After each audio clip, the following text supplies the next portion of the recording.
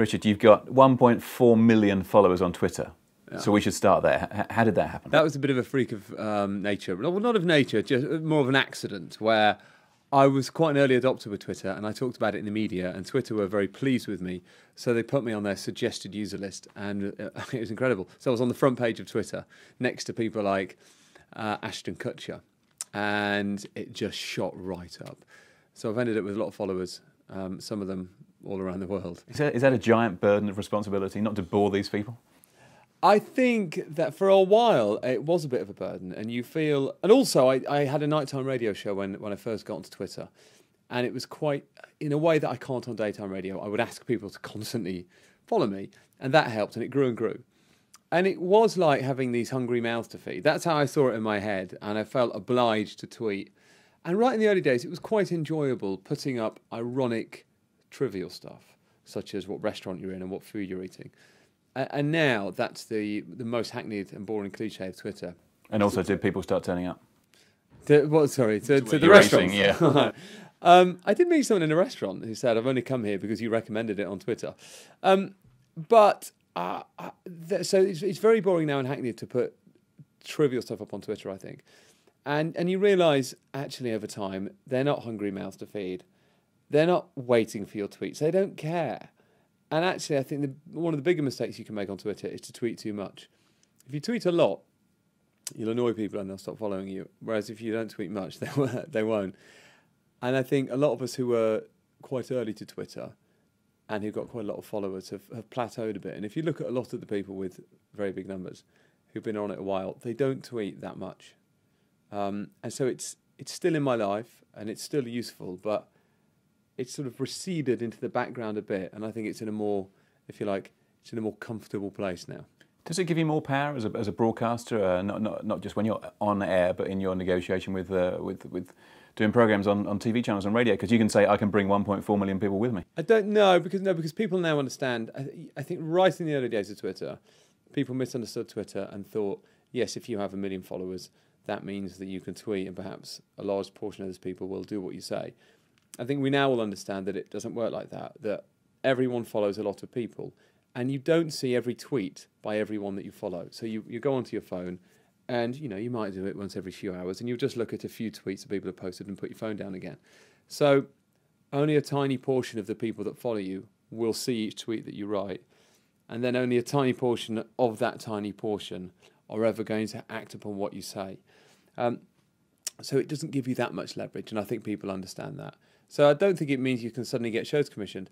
Um, it becomes a bit annoying in terms of how many people ask you to retweet stuff, and I have, you know, I just have a lot of friends in the media who have TV shows on, films out, books out. I've got a lot of friends who open bars and restaurants, and they all ask me to plug their stuff, which I will only do if I sincerely like uh, their work because I think I think you sort of have to be um, yes you have to be sincere in what you suggest I guess. But that's where that is actually where it's annoying is people who know you've got a lot of followers constantly asking you to tweet about their stuff. Could you, uh, could you retweet this interview when you get a chance? I know that's why I'm here isn't it? What I'm doing is piggybacking on your followers. and you're you're going to send me an email John aren't you and say Richard Please here's the link to that interview. Yeah please RT It's like turning down an autograph. The, the fan will never forgive you. But remember, I'll only do it if I sincerely like it. And based on how it's gone so far, I probably won't RT it. But that's good news. That's good news. So, all right, enough about who follows you. Who do you follow? Give us, give us, uh, give us your, give us your desert island tweeter. Um, no, there's no one. There are very few people who are really consistently funny all the time, and it's not. Present company, except. Uh, and that was funny. oh, thanks. That's actually funnier than any of your tweets. Oh, yeah. Beautiful. Uh, I it's I don't really use it to make me laugh very much. I, I use it.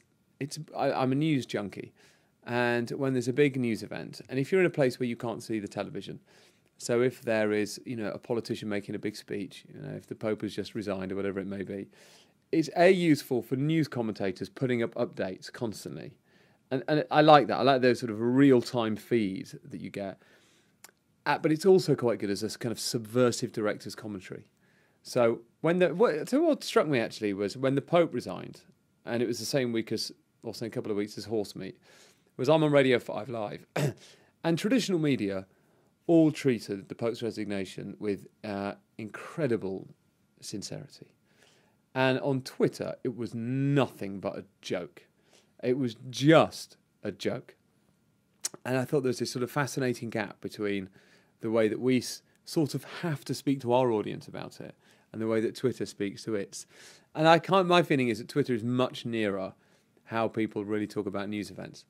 Um, I don't think people try and make as many jokes as commentators on Twitter do as soon as the Pope's resigned, but I think most people found humour in it. Uh, and so actually, this I'm fascinated by this right now. I think people's reaction on Twitter to major news events is nearer how people out there talk about the news than we talk about the news on BBC radio and television and, and in papers like The Guardian. So lessons for broadcasters and news outlets to learn there if they're if they're brave enough to take it. But uh, yeah, I don't know. tough uh, It's, well, it's a very difficult lesson, isn't it? Because I, I don't know how I don't know how you learn that lesson. I don't know how you know Five Live is part rolling news. I, I don't quite know how you could instantly start and subvert a story like the Pope, and you kind of have to treat horse meat fairly seriously, certainly when it breaks. Um, so I don't know. I'm not sure. I don't know what that lesson would be. It may just be that the two things coexist. Uh, perhaps they coexist very comfortably. But as I say, I think the way people react on Twitter to big stories is much nearer how people talk about how, how people everywhere else react to them. horses for courses.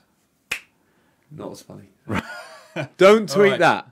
I'm Right. not RTing that.